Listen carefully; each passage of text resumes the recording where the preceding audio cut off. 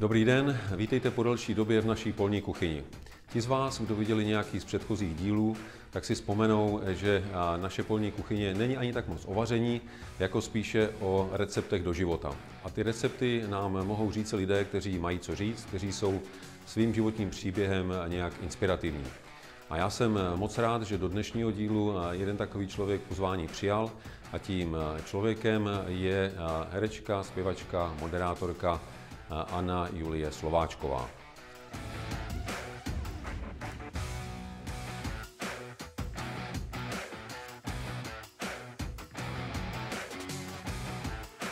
Aničko, ještě jednou vítejte v polní kuchyni, jsem moc rád, že jste si udělala čas. A teď si vlastně uvědomuji, že se musím nejdřív omluvit, že vám říkám Aničko takhle důvěrně. Nejenom, že si myslím, že mě k tomu ospravedlňují moje šediny, ale navíc mě se jméno Anička moc líbí. Nejenom teda, že vám dali rodiče hezký jméno, ale já mám vnučku Aničku, která je teda o dost menší, asi taková, ale, ale kdy vám to nebude vadit, tak bych vám říkal Aničku. Určitě mi to nevadí, moc děkuji za pozvání, jsem moc ráda, že že jsme to dali dohromady, ten termín, a že jsme se mohli sejít. Děkuji. Já bych rád začal něčím, co by korespondovalo s tím, jak jste tak letně eh, sluníčkově naladěna, ale, ale eh, zřejmě asi bychom měli začít něčím, co se dá eh, nazvat procházkou stínem, mm-hmm. abychom se pak na to sluníčko mohli dostat. No, mm-hmm. Takže to vezmeme nejdřív od toho horšího. Souhlasím. Já musím říct, že ten hlavní důvod, proč jsem vás sem pozval, byl ten eh, příběh, který se pojí s vaším eh, eh, poměrně nedávným vážným onemocněním, ale hlavně způsobem, jak jste se s tím poprala. Protože vy jste měla rakovinu, prodělala jste poměrně těžkou léčbu a rakovina je něco, co nás asi provází všechny. Já musím říct, že i v osobním životě můj tatínek prodělal, prodělal rakovinu, moje maminka na ní zemřela a asi nikdo z nás eh, nemá ve svém okolí někoho, kdo by hmm. rakovinou si neprošel nebo na ní nezemřel. Takže je to určitě věc, o který má smysl se bavit. Eh, právě proto, že nás provází všechny a asi právě proto bychom si k ní měli najít nějakou cestu, která nám eh, pomůže se z toho nezbláznit. Takže já bych se chtěl zeptat vás, jak jste se s tím vy vypořádala, co vás drželo nad vodou, co vás motivovalo prostě jak jste se z toho dostala? Já si myslím, že takový hlavní věci, které mě držely nad vodou, tak, eh, tak byly určitě lidi, kteří jsem měla kolem, protože ta pomoc těch, eh, těch bližních je dobu, kdy si člověk prodělává nějaký vážný onemocnění, hodně důležitá. Člověk by na to neměl být sám, na nic by v životě neměl být sám, na tož na to, eh, na nějakou vážnější situaci, nemoc, věci, co se mu v životě dějou. Takže to pro mě byla velká podpora.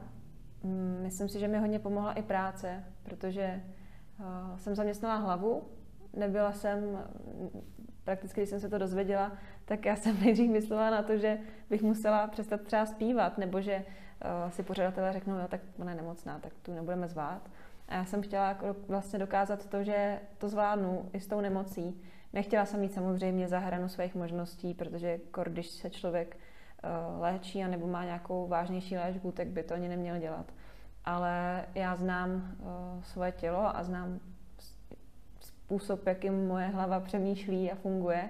A věděla jsem, že pokud se teď stane ten moment, že přijdu domů a lehnu si do postele a budu brečet a říkat si, že jak je mě život nespravedlivý a že proč já ve svých 24 letech tohle mám řešit, když tam nechci někde běhat za klukama nebo prostě za kamarádama, lítat po světě a hrát a zpívat.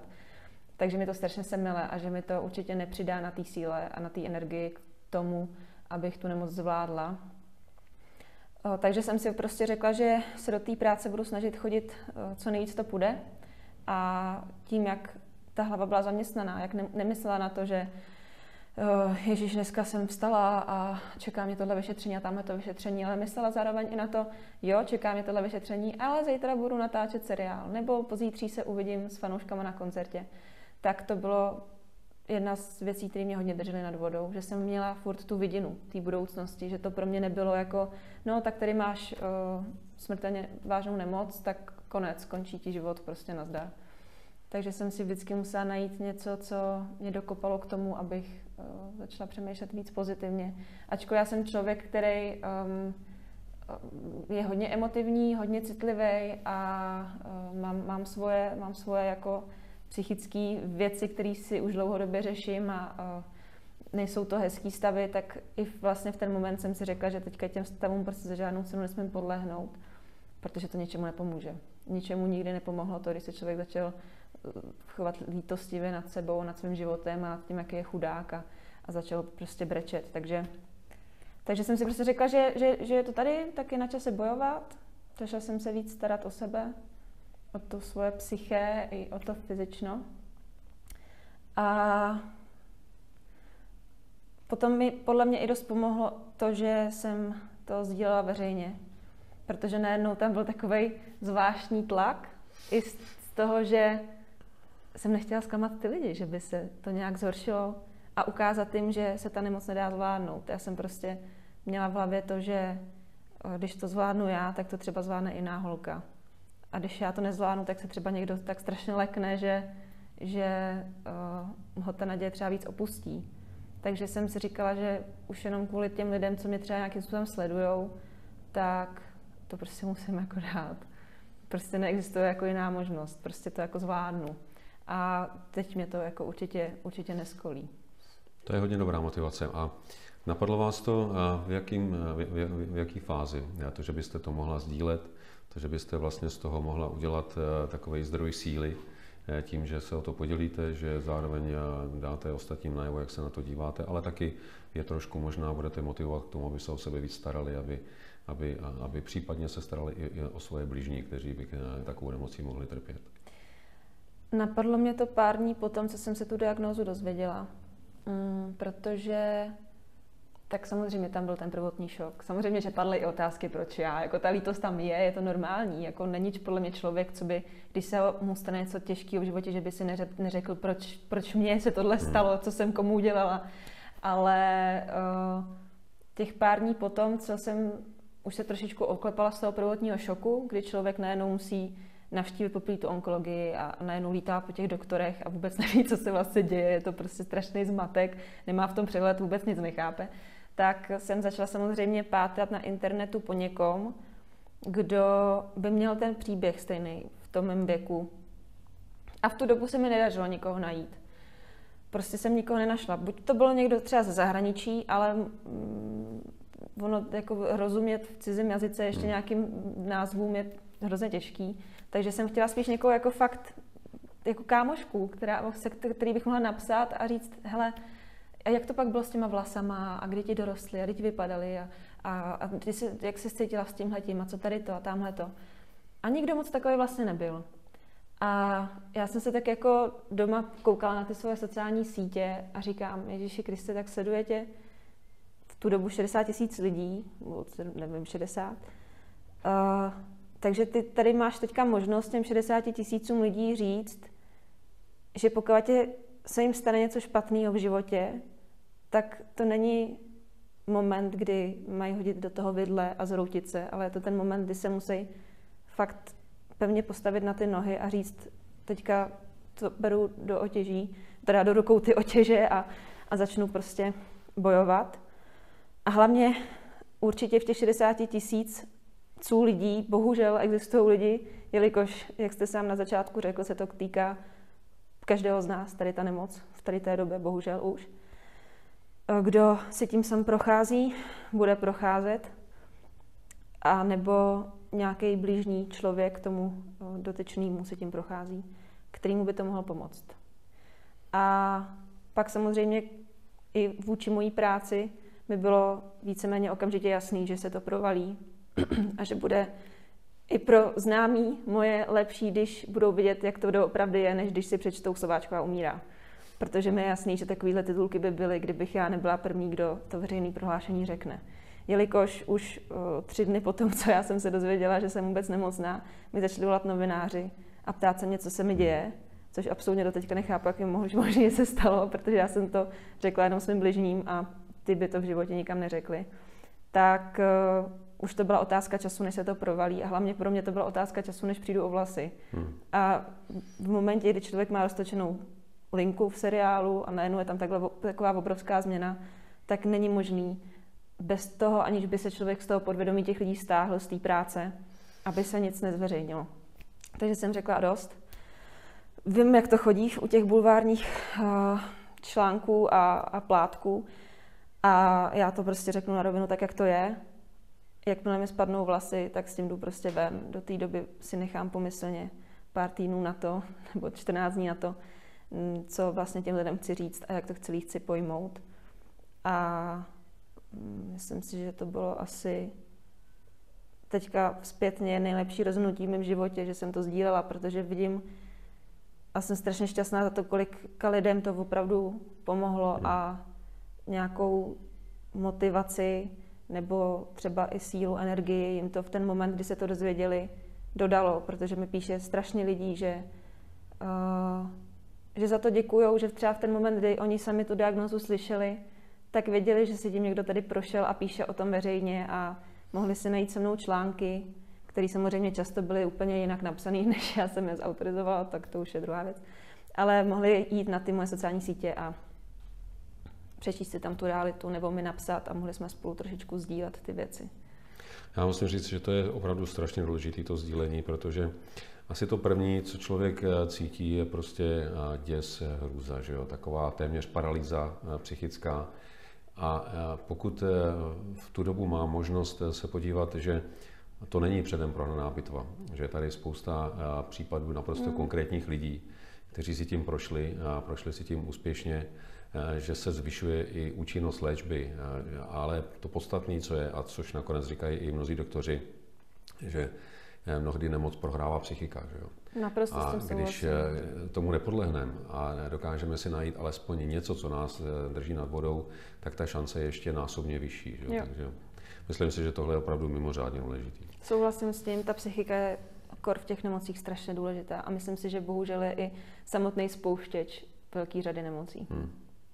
Teď to trošku odlehčím. Já jste zmínila ty vlasy, to tady, což teda zrovna pro ženu asi úplně moc eh, jako odlehčující není, ale hmm.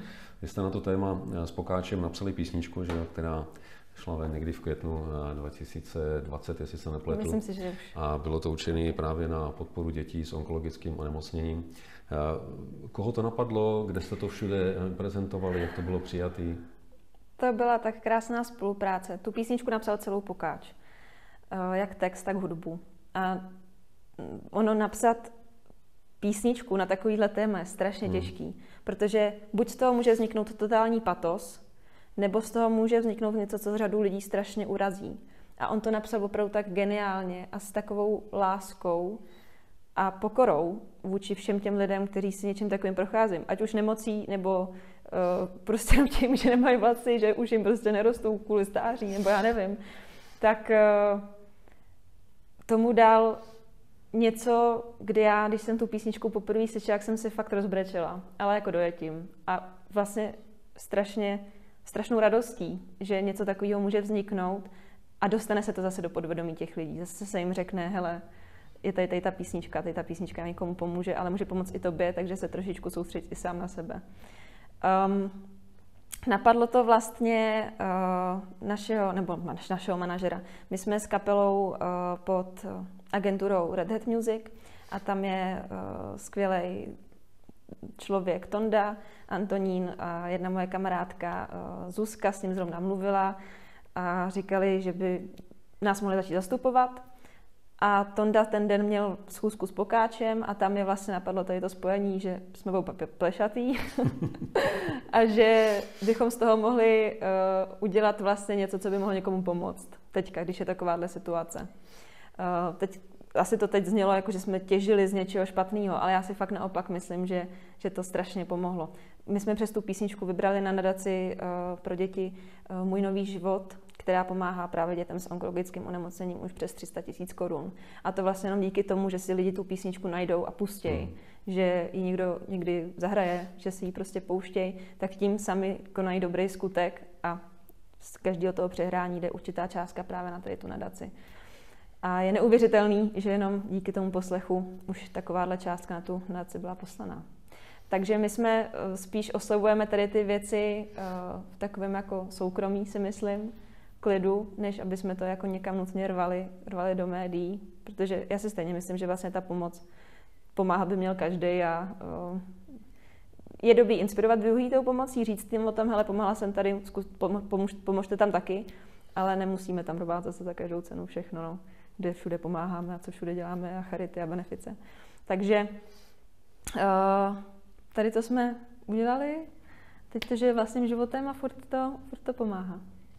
Je to, je to fajn, protože eh, dětem, který eh, obdivuhodně snášejí eh, některé opravdu závažné věci mnohem líp než dospělí, asi protože nedokážou třeba úplně docenit některé dopady, mm. tak mnohdy výrazně pomůže humor. Že? A, a ten humor velice laskavý v té písničce je. A dovedu si představit třeba na pacienty, za kterými jsem chodil třeba i do Motola, a byly tam občas takový opravdu smutný případy. A když se jim dostane něco takového, jako je právě takováhle písnička, tak jim to udělá velkou radost. Já si stojím za tím, že hudba a humor léčí. A že v momentě, kdy eh, člověk nemá tady ty dvě věci, tak mu chybí spoustu, spoustu uh, energie a těch bodů, který mu v tom zdraví pomůžou. A ještě jeden dobrý závěr tady k tomu je, že eh, vám ty vlasy zase krásně narostly, narostly. na rozdíl od pokáče. Teda, Pokáčovi ne, no. Ten už s tím byl bohužel smířený, když jsme to, to točili. no a kromě, kromě humoru, a humoru a, a, a hudby a eh, ta, taky samozřejmě hodně eh, pomáhá prevence. K tomu celá ta no, vaše aktivita, iniciativa taky směřovala. A vy jste se potom pustila i do různých dalších projektů, které právě tu prevenci mají podpořit. No, ať už eh, to bylo třeba poznej nepřítele. Ano, jo. to je teď aktuální zrovna. Tak, a nebo taky potom eh, některé aktivity zaměřené právě třeba na tu prevenci v souvislosti s pohybem. Mm-hmm. A já jsem jako jednoho z prvních, ne úplně prvního hosta tady v polní kuchyni, měl doktora Tomáše Šepka, mm-hmm. kterého si moc vážím právě za ten jeho přístup. A on eh, se na to dívá opravdu tak, že vlastně on říká, že bychom neměli mít ministerstvo zdravotnictví, ale ministerstvo zdraví, protože tím primárním je, abychom všichni eh, prevencí předcházeli tomu, že onemocníme a vlastně léčba by měla být až to poslední. Že? Takže eh, jak, jak vy vidíte tu prevenci právě třeba mezi dětmi, mladými lidmi? Strašně, I ve smyslu tomu pohybu třeba. Hmm, strašně podceňovanou, upřímně. A je mi hrozně moc líto, jak málo je na to kladen důraz tady v tomhle státě. Vzhledem k tomu, že uh, i na školách si myslím, že se to málo probírá. Hmm. Ale to není jenom prevence eh, zdraví jako fyzického, ale i toho psychického. Právě o čem jsme se bavili, že ta psychika může za 90% věcí v našem těle. A nikdo, nebo jako minimální uh, počet lidí, se kterými jsem se setkala v průběhu školy nebo studia a podobně, kdy řekl něco o prevenci zdraví, prevenci rakoviny, prevenci psychických nemocí, a všech tady těch, všech tady těch jako věcí. Eh, měl by se na to klást o dost větší důraz, vštěpovat to těm dětem do hlavy, protože opravdu není žádný hrdinství to, že mávnu rukou nad tím, že mám tady pivu a nenechám si ji zkontrolovat. Je to, je to, není to frajeřina, je to prostě naprosto bezohledný vůči sobě a vůči svýmu okolí. V momentě, kdy člověk podceňuje příznaky čehokoliv a říká si, to nic není, je to v pohodě. To, že jsem půl roku unavený a půl roku nevydržím bez odpoledního spánku, je přece úplně v pohodě. Jakoby není to v pohodě. Hmm. v momentě, kdy je člověk půl roku unavený, tak mu buď as, bude děkovat Bohu, že mu chybí jenom nějaký vitamin a bude uh, nadávat Bohu, až zjistí, že má rakovinu prostě ale je to jenom v jeho rukou. V momentě, kdy se člověk prostě necítí dobře, vidí na sebe nějaké změny a nebo se nekontroluje, ta prevence zabere tomu člověku celého toho těla pět minut. Pět minut, když tomu bude věnovat jeden den v měsíci, každý měsíc jeden den, to jsem řekla blbě, jeden den za měsíc. Chápem se. Takže 1. Jasně, března, jo. 1. dubna a tak dále. tak to si myslím, že je dost malá daň za to, že pak bude rok eh, běhat po doktorech a dost mláden za to, že si tím může zachránit život. No, no to je pravda, že ta prevence vlastně zdaleka není jenom o té zdravotní prevenci, že? Hmm. to je hmm. celkově o životním stylu. Yeah. Slyšíme mnohokrát, jak eh, trávíme spoustu času u počítačů, že jo? ale je taky spousta věcí, které si děláme sami, protože Já když kolikrát vidím, jak v kontrastu s tím, jaký máme krásný smysl pro humor, tak jak se kolikrát dokážeme chovat zapškle, mm-hmm. jak jsme protivní jeden na druhýho, jak jak eh, nahlížíme eh, strašně pesimisticky na některé věci. A dívám se třeba na některé národy, které jsou vyloženě jako uvolněný, v pohodě. Mě takhle z té zkušenosti, kterou jsem udělal, takhle připravili třeba Australani, nebo u nás mm-hmm. v Evropě Dánové. Mm-hmm. A, oni asi nebudou eh, žít v jiném prostředí než my. To ale, je pravda. Ale já to, jsem, jak k tomu přistupují. Já jsem chtěla jinýho, vlastně říct na to, že um, v těch jižních zemích za to určitě může sluníčko a moře. Přesně tak. Ale v tom Dánsku vlastně jako tam to podle mě není zase tak odlišný, než, než ho máme tady. Um, nad tím taky často vlastně přemýšlím, že mám pocit, že je kolem nás čím dál tím víc té zloby a té negace. Jak tomu vlastně zabránit? Jak udělat prevenci tomu, aby jsme byli všichni takhle zapšklí a zlí a hnusní a nepomáhali si a ignorovali se vzájemně? A ještě mi nic nenapadlo. Napadla mě samozřejmě jenom ta hudba, která léčí všechno, i tady ty věci. A člověk, když na tom koncertě je, tak najednou jsou všichni kamarádi a všichni se mají rádi. A ta kultura ty lidi opravdu spojuje. A já se naprosto přesvědčená, že kultura je zásadní věc ve všech zemích prostě. Jakmile země nemá kulturu, tak nemá nic. To tady tvoří všechno. A je to to něco, co nás může strašně pozitivně nabít, obohatit a udělat nás chytřejšíma a zdravějšíma. Rozesmát nás, rozesmutnit nás, ale vyvolat nás ty emoce. A mít ty emoce je, je hrozně důležitý a mít ty pozitivní. Takže bylo by hezký, kdyby se na sebe lidi víc usmívali. Ale to je asi to je asi taky o nějakém vedení a o věcech, který, který eh, se můžeme snažit změnit, ale už asi, už asi nezměníme. Já bych ještě k té kultuře asi přidal sport, teda pokud to mm-hmm. nebereme jako, ano, jako zatvrzelý fotbalový fanoušci, že si musíme před každým zápasem eh, dát do nosu. Eh, ale sport, zvlášť teda pokud se rozvíjí od dětí, tak má taky eh, celou řadu mimořádně pozitivních vlivů. Mimo jiné to, že eh, se děti zvyknou, že nic není zadarmo, že proto je mhm. potřeba nějaký úsilí. A pokud jsou to eh, nějaké kolektivní sporty, takže to je taky trošku o týmu, nejenom o tom, kdo je, nej, kdo je větší hvězda. Že jo. Ale taky je to o tom, že když se fyzicky utaháme, tak jsme v takové psychické pohodě. Že jo. Taky si doplníme různé hladiny různých hormonů a, a ta mysl najednou funguje taky jinak a méně depresivně, než když člověk se sebou nic nedělá, leží jenom doma. Na Vy jste byla ambasadorkou běhu, že jo?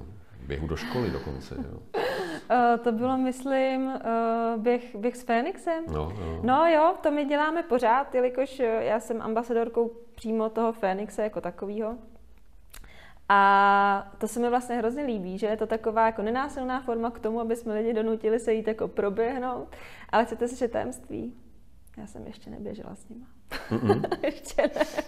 Ale mám to v plánu, akorát, že vždycky je to na, na, nastavený na nějaký víkend a já prostě víkendy zase tančím na tom pódiu, tak aspoň se hejbu tam, ale těším se na to, až si, až si s nima zaběhám, jelikož několik let to bylo virtuálně kvůli několik let, to už je vlastně, se dá říkat po covidu, že tady bylo několik let. Dva roky to bylo uh, kvůli covidu virtuálně a teďka už je to zase, takže se tam můžeme potkat všichni, tak doufám, že, že nezelením a půjdu se proběhnout s nima.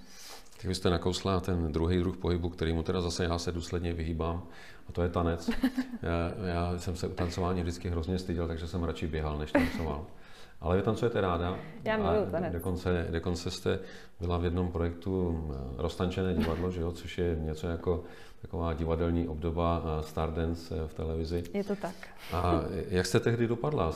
To bylo s Adamem Havlem, že jo? Adam Havel, geniální tanečník. Od té doby ho furt sleduju a je fakt skvělý.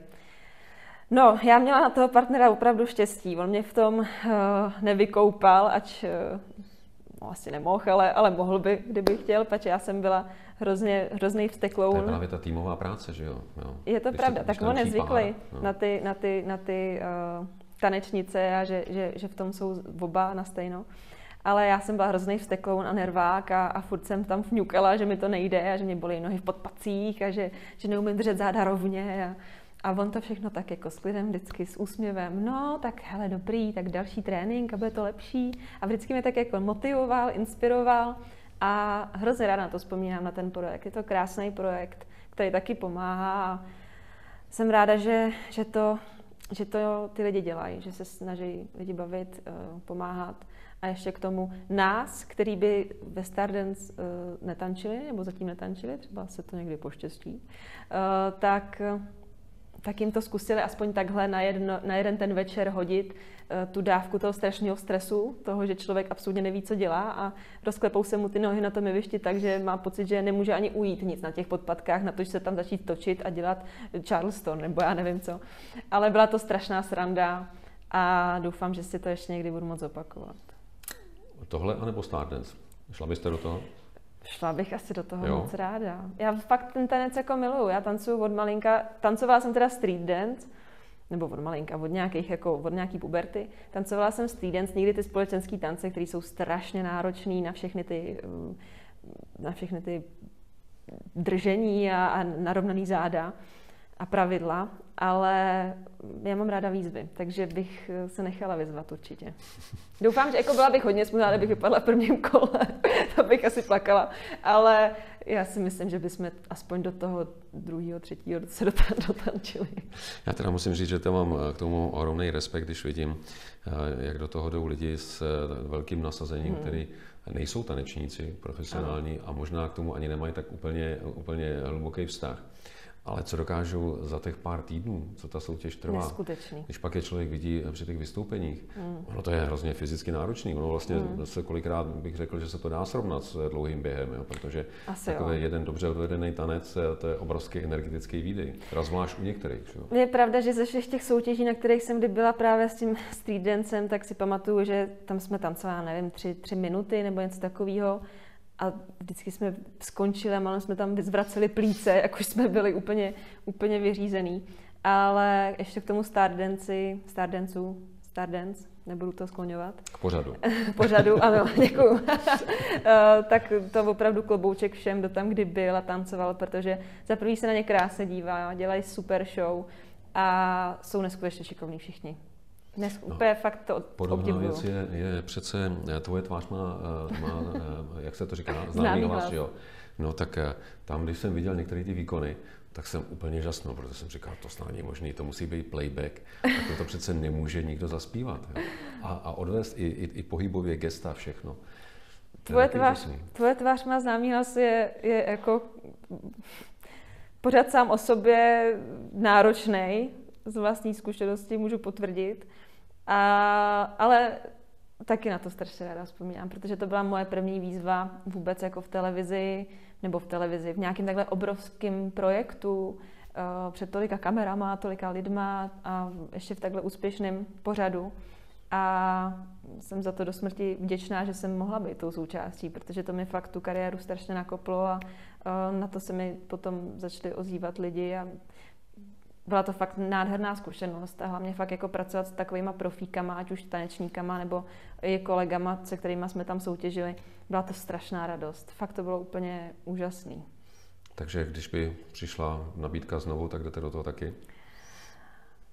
No, asi jo. Jo? Asi jo, asi jo, ráda. Když všechny uvidím znova a budu s nima moc trávit čas, tak ráda. No, eh, to jsme se naštěstí už teda přesunuli na to sluníčko teďka. A, a když eh, se takhle podíváte eh, zpátky, tak máte tendenci se občas zastavit a trošku se jako v retrospektivě probrat tím, co bylo, anebo máte spíš takovou tendenci, jako mám třeba já, čo bolo, bolo a teďka se budu dělat dopředu radši. Ke sera, sera. No, já jako se bohužel utápím do té minulosti. Jo ač nerada. Ale uh, to je taky jeden z takových mých jako ďáblů, se kterými se peru každodenně, že mi tam furt strká nějaký věci a nějaký uh, naučený blbosti, který nechci dělat a uh, já vždycky řeknu ne, už to bylo, už, už se tím nebudu za, zaměstnávat tu hlavu, už, už to nemám důvod řešit a důvod se tím trápit, takže koukám dál, ale já spíš vlastně i díky asi té nemoci jsem se naučila žít tady a teď. A snažím se, nebo naučila, učím se to furt. A snažím se se netrápit tím, co bude zítra. Prostě to, co bude, tak to bude. Tak, jak to má být, tak to vždycky bude. I když se budeme snažit, aby to tak nebylo, tak to tak bude. A myslet na to, že, že, že to bude špatně, tak to bude špatně. Že jo? Protože to, co my si přivoláme, nebo na co myslíme, to si přivoláme. Takže se snažím myslet na to, že vždycky všechno skončí dobře a, a všechno má ten šťastný konec. Já si vždycky říkám, že trápit má smysl, nebo trápit se má smysl jen tím, co můžu ovlivnit.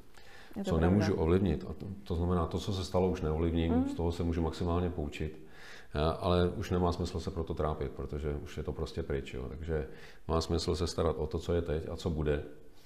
Ale hlavně je taky, co je důležité, eh, mít eh, nějaký takový eh, seznam přání a snů, který si člověk ještě musí vyplnit. A je bez ohledu na to, kolik mu na to zbývá času, že jo? protože to jsou věci asi, všichni potřebujeme se na něco těšit, že jo? Mm-hmm. Mít, mít nějaký sny, sny a přání. A já o jednom takovým vím, ale u vás, protože jsem říkal, že vy, vy máte ten takový sen, že jo? My jsme na to kdysi narazili, na téma malinký bystříčko, no, malinká jo. farmička. Jo, to bych, to bych si hrozně přála, kdyby se mi někdy splnilo a stalo. A mít tam už tu svoji rodinu a to svoje zázemí a ten svůj klid a ten klid rozdávat na tom místě těm návštěvníkům a kolem jdoucím a pocestným. Mít nějakou tu asi, asi ideálně tu farmičku, no, maličkatou, slepičky, vajíčka domácí. A jak to jde dohromady ale se show businessem? To nejde, ne? Nejde, no. Obávám se, že nejde. Takhle, já jsem, eh, já vždycky ve vtipu říkám, že jsem začala dělat zpěvačku a herečku naivně z toho důvodu, abych si vydělala na tu farmu a pak mi došlo, že být zpěvačka a herečka mi nikdy nevydělala na to, abych dělala farmu.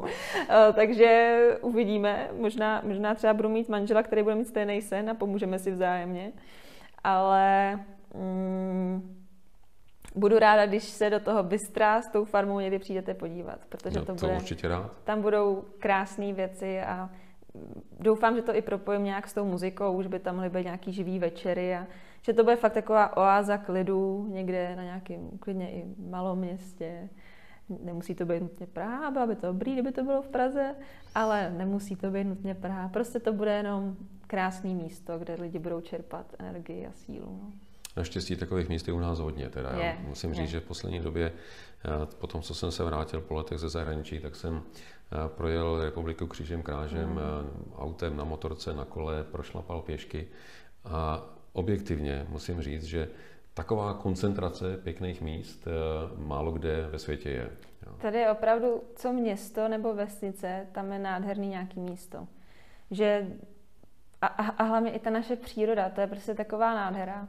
To kdyby, a kdyby se o to ještě víc trošičku všichni starali, s větší láskou a respektem o všechny ty místa a, a přírodu a tak, tak myslím, že bychom byli opravdu jako jedna z nejkrásnějších zemí vůbec. Protože tady máme vš, jako všechno. Nemáme moře, no tak dobrý, tak se nezblázníme, že jo. Tak Tam si můžeme zajet. přesně tak. A máme nádherné řeky a rybníky a, a jezera a to je, to je někdy víc. No tak to vám budu držet palce, abyste si takové nějaký krásný místečko našla někde. Děkuji. Kdyby to šlo pokud možno skloubit ještě jistě, i s tím zpíváním, teda aspoň, protože eh, tyhle radosti se asi zbavit nechcete, že Nechci, já no. zpívám strašně ráda, miluju, miluju zpívat vlastní věci a hrát s kapelou, takže toho bych se nikdy nechtěla zbavit. Nikdy. No, ale jsme v kuchyni a s bystrem se taky pojí něco k jídlu a k pití. A co vy a vaření? Já a vaření to je moje vášeň. Jo, vaření je moje vášeň. To je... Jídlo taky? Jídlo taky, bohužel, teda, to, to je moje taková vášeň, zároveň nepřítel. Ale ne, já fakt miluji jíst a miluju to jídlo připravovat a ideálně ho vařit třeba i s přáteli, nebo pro přátele aspoň. Jako pro sebe, když jsem doma, tak, tak to není úplně takový gastro, gastro řekla bych gastroporno, ale není, není mi to příjemné to tady říkat, to slovo. ale uh, no, nevím, jak jinak to nazvat. Každopádně pro ty lidi, co má člověk rád, se prostě vaří nejlíp, akor když vidí, že to těm lidem chutná. Takže já bych se v tom bistru samozřejmě i vařila jsem tam. Třeba by tam byl jeden den, kdybych měla na starost kuchyň jenom já. Otázka je, jestli by tam někdo chodil v ten den potom na to jídlo. Já věřím, že snad jo. Ale já hrozně ráda peču, sladký, dělám hrozně ráda dorty, hrozně ráda dělá, hrozně ráda vařím italskou kuchyni, uh, azijskou kuchyni, ale poslední dobou teda musím říct, že jsem se zamilovala dost i do té naší české, ale té staré tradiční české kuchyně, takový ty ještě nepoznamenaný dalším vývojem, ty fakt staročeský kuchyně. Tak ty lokše všechny a, a placky vše možný, zelí na tisíc způsobů, brambory na tisíc způsobů. Mám to ráda, no. Ale je pravda, že eh, v té staré eh, kuchyni, staré české kuchyni, se dá najít eh, spousta receptů, které nás tak trošku vrátí na zem, že, jo? že nepotřebujeme super suroviny a hmm. tisíc ingrediencí na jedno jídlo, že nám stačí dvě, tři a dokážeme z toho vyrobit neuvěřitelně chutnou krmi, kterou si dneska každý rád dá. Že? Je to pravda. A naopak si myslím, že bychom vlastně kormy, tady když nemáme to moře, měli jíst opravdu uh, ty produkty a ty suroviny, které seženeme tady klasicky vypěstovaný prostě v Čechách, v Česku, v České republice. Uh, netrou si do toho zbytečně nějaký další jako avokáda, ananasy, jo, je to super, mám to taky strašně ráda, ráda si dám suši nebo nudle, nějaký azijské a tak dál. Ale fakt co nejvíc těžit z těch našich surovin, protože pro nás v nich je nejvíc vitamínů, který můžeme, můžeme jako v tom jídle najít a hlavně tím i podpoříme ty dodavatele a ty farmáře, který to tady uh, s potem a, a slzama a krví všechno prostě pěstujou. A jsou to super věci. No to teď zase bude asi aktuální, že jo? protože jo. hodně lidí se vrátí k tomu, že bude mít na zahradě dva, tři řádky brambor mm. a záhonek mrkvé, petržele, že jo? protože tyhle věci, když člověk vidí, jakým tempem se eh, zvyšují ceny v obchodech, tak asi kdo bude moct, tak si to bude pěstovat aspoň částečně doma. Že jo? Já už jedu v truhličkách za oknem v bětečku sice, ale, ale pár salátků už se tam začíná rýsovat. jo, já myslím, že asi hodně lidí má takovou tu balkonkovou zahradu, mm-hmm. že jo? Mhm. protože už třeba jenom, když vezmu, jak jednoduše se dá vypěstovat eh, hromada velice chutných mm-hmm. rajčat. Jo? A s jak malým prostorem. No jasně. Že to, na to opravdu to stačí ten balkon a jeden starý kyblík, že jo? Dá je do toho to, trošku to substrátu pravda. a mám rajčata celou sezónu. Že? Substrát, lásku a péči a tak. má výborný rajčátka. já, nedá mi to, abych se nezeptal, já, rozdíl vaření muži ženy. A hned to musím uvést, teda, že já rozhodně nepatřím k těm, kdo by se mohli eh, chlubit tím, že vaří eh, jako Zdeněk Polreich nebo kdokoliv tady z těchto těch mistrů, který mimochodem teda obdivuju, co dokážou eh, občas téměř z ničeho vyrobit. Mm-hmm. Moje žena že říká, že já vařím jako pejsek s kočičkou. Všechno, co se najde a pak z toho je takový jeden eintop. Ale, ale co jsem vždycky tak slychal, že charakteristikou eh, mužského vaření eh, je právě ta nesvázanost mm-hmm. a, a fantazie. Že teda eh, muž k tomu přistupuje tak, že vlastně přijde, teďka se roz, rozlídne a co by s tím zkombinoval. Že? Žena, žena, protože většinou vaří z důvodu přežití rodiny, tak prostě vaří, vaří rutině, ale no. taky vaří prostě podle receptů, na který je zvyklá. A jak moje žena si vždycky odměřuje všechno, že to musí být přesně. Já to prostě beru tak nějak přiměřeně, přiměřeně. No jasně. Tak. Takže eh, jak vy se díváte na vaření a muži? Já mám upřímně strašně ráda, když chlap umí vařit. Jako když chlap umí vařit, tak se dá říct, že už mě dostal. A je všechno zbytek mě jedno. Polovina a, úspěchu splněna. No, víc než polovina. A, a paradoxně zatím uh, mi víc chutná třeba i od mých uh, klučičích kamarádů, když vařej. Když to umějí teda, když to neumějí, tak uvařím já samozřejmě. Uh, takže, ale já mám naštěstí opravdu štěstí uh, na kamarády, přátele, který vařit umějí, chlapce. A je, i vlastně můj bratranec uh, Marek Patras je, je šéf kuchař v jedné tady restauraci v Elite Garden. A ten vaří taky úplně skvěle, vždycky se scházíme a a jednou jsem mu tam dělala knedlíky v restauraci, tak to je jeho oblíbená historka. Doteď vždycky to slyším z každé strany. Ty jsi tam dělala knedlíky. No, dělala. Každopádně, když chlap prostě umí vařit, je to skvělý. Je to, je to výborný. Eh, chlapi, už se vařit. Budete to potřebovat v životě. A druhá půlka, buďte muzikanti. A, a pak je to hotové. No. Ne? To úplně... Tam jsem zatím narazila po každý, takže těžko, těžko říct. Když umí na kytaru, je to fajn. Tak dobře, tak stačí, když bude umět vařit a bude mít vztah k farmě. Ano, tak. ano, to je pro mě tak. 100% Výborně, úspěch. Dobře, tak už máme základní kritéria. tak. No ale asi se shodneme na tom, že eh, ať už eh, teda se budeme bavit o tom, jestli vaří eh, chlap nebo ženská, tak asi nejlíp stejně vařily babičky. Že jo? Mm-hmm. A já teda mám spoustu takových právě těch klasických jídel, na kterých vzpomínám, co dělali moje babičky. A vy určitě taky. A navíc vím, že máte jeden takový poklad. Jo. Mám a mám ho tady sebou. Tak na to A je to kuchařka, kterou získala moje babička po své babičce a moje babička jí potom věnovala uh, mojí chůvě. A moje chůva jí věnovala po několika letech mě a je to kuchařka plná jako neuvěřitelných receptů, právě i těch staročeských. To byste teď měla mít bílý rukavice a tady by měli stát bodyguardi. jako opravdu podle mě je to největší poklad, který já doma mám, nejdražší na světě, možná i. A je to tady třeba perníková buchta, černé jahody, černé borůvky. Vůbec nevím vlastně, jak to má vypadat v závěru. Pak jsou tady i nějaký recepty, které jsou napsané v Němčině. Všechno je to napsané tím nádherným písmem, rukopisem, tím starým, vymazleným, hůlkovým, krásným. A je to fakt podle mě moje rodiny jako dědictví nejdražší. A už jste podle toho něco dělala? Zkoušela jsem podle toho dělat uh, Vánočku, zrovna jsem ji tady i našla a jakoby zatím se mi to moc nepovedlo, jelikož si myslím, že všechny ty suroviny, které měly tady navážený, tak měly trošičku jinou mm, kvalitu asi, než mají ty dnešní. Takže ta mouka to úplně nedala, úplně to nepochopila, co má dělat asi, ale když jsem se o to snažila potom po druhý, tak už jsem to samozřejmě začala i řešit v kombinaci s tím, co dneska je dostupný vůbec, protože jako člověk asi nechce jít schánět ten tak nějaký mozečky a tady ty jako věci do Alberta. A, a začala jsem to řešit víc i v té naší mluvě, protože tady i některé ty některé gramy a tady ty věci jsou uvedeny úplně jinak, hmm. jak má člověk odměřit. Takže je tro, trošičku oříšek se v tom jako vyznat, ale, ale když to člověk asi pochopí, a já si myslím, že kdybych z toho začala jako vařit něco pravidelně, tak se do toho jako žiju a jsou tam i krásné malůvky. No to teda, Ona no. hrozně krásně malovala. Jak se třeba odměřuje špetka? No tak špetku bych vzala takhle, že jo? Asi, asi tak, že jo. Špetka soli. U každého to bude ale trochu jinak, že jo? U každého to bude trochu jinak. A já si hlavně myslím, že dřív ta špetka byla taky úplně jinak, než ji máme my teďka za, zakódovanou. Každopádně si myslím, že v průběhu jako života by, bych se o tom měla s někým podělit.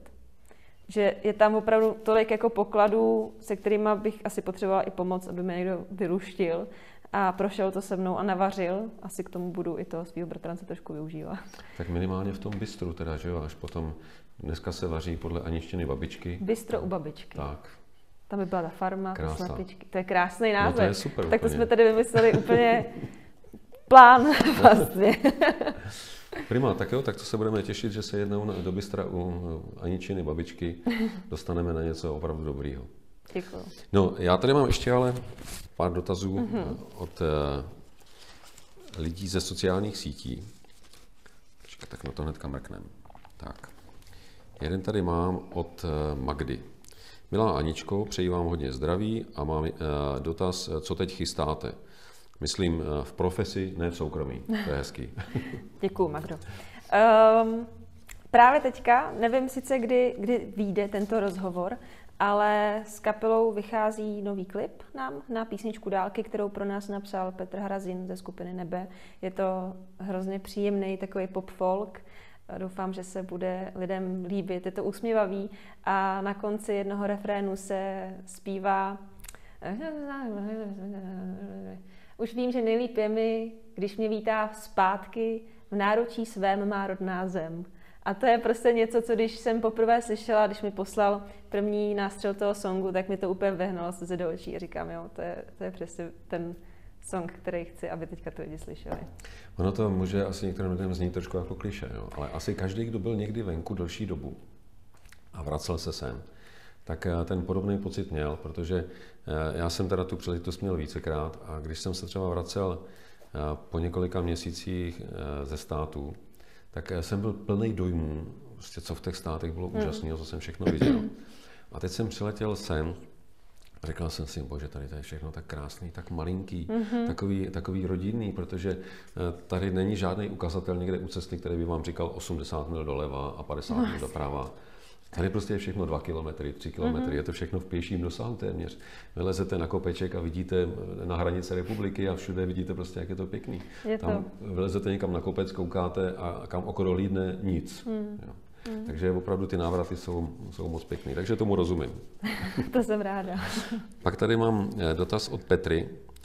Aničko, co vy a sociální sítě? Kolik času u nich denně trávíte? Máte na Instagramu hodně sledujících, jak s fanoušky komunikujete? Aj, aj, aj. No, trávím na nich víc času, než chci. Bohužel no, jsem v zajetí sociálních sítí, nechci být. Ale tak, eh, taky to svým způsobem patří k mé práci. Um, no, k mý práci. S fanouškama se snažím komunikovat, co nejvíc to jde. Bohužel ten direkt těch zpráv je zahlcený natolik, že se ke spoustě zprávám ani nedostanu. Hmm. Není to v mých silách a ačkoliv to k mé práci patří, tak není to 100% času mý práce. Je to opravdu jako v pár procentech, který tomu pracovně věnuju. Takže když už se na to najde čas a hlavně energie, protože ono to opravdu tu energii ty sociální sítě strašně žerou, tak, eh, tak se snažím odpovídat a, a sdílet a, a, a povídat si. No ale uh, upřímně, kor v posledních měsících, kdybych uh, ty sociální sítě neměla, asi bych byla šťastnější a um, dost často přemýšlím nad tím, že buď někomu svěřím, kdo už by tam dával jenom pracovní věci, kdy mě kdo může vidět a nějaký informace, a nebo je prostě zruším. No. Protože je to, je to strašná ztráta zdravého rozumu na těch sociálních sítích. Je to hrozně smutný, co tam člověk vidí uh, a je to hrozně smutný, jak, jak, jaký egomaniace se tam dokážou najít. No. Hmm. Takže mě vlastně sociální sítě spíš, když tam vidím ten, ten, ty, ty lidi, kteří ho sledují, uh, ubí, ubírají všeho hezkého, než dávají.